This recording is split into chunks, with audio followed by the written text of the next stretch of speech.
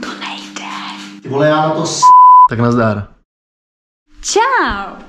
Vítejte u dalšího videa od začátečníků. Pro začátečníky. A my jsme si říkali, že bychom vám ukázali, respektive schrnuli, jak vypadal náš rok 2020.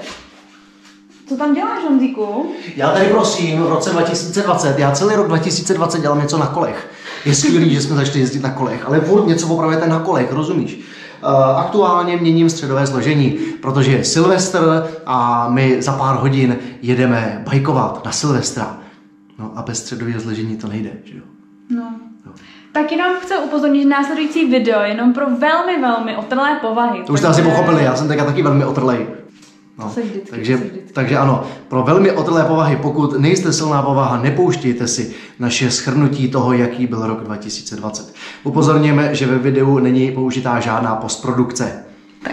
Jak je u nás zvykem, tak dneska bez ní. Jo? Žádný animace, žádný píčoviny, žádný dopouštěný zvuky. Prostě jenom tak, jak se to skutečně stalo. Surová realita. Takže, jaký byl rok 2020?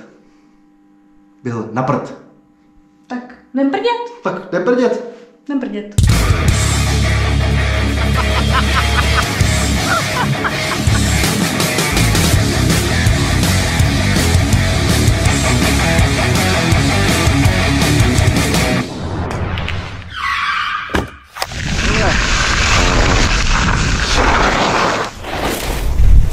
Pokud se vám video líbilo, tak nezapomeňte dát like, odběr Sdílet ho. a zanechte nám komentář, jak se vám líbilo a jaký jste vy měli rok 2020. OK, omlouváme se za tenhle nejapný vtípek, když nám to nedalo.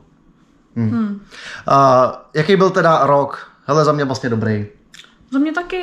Začali jsme jezdit na kole, Právě, potkali jsme plno skvělých lidí, je to Právě. sentimentální keci. právě.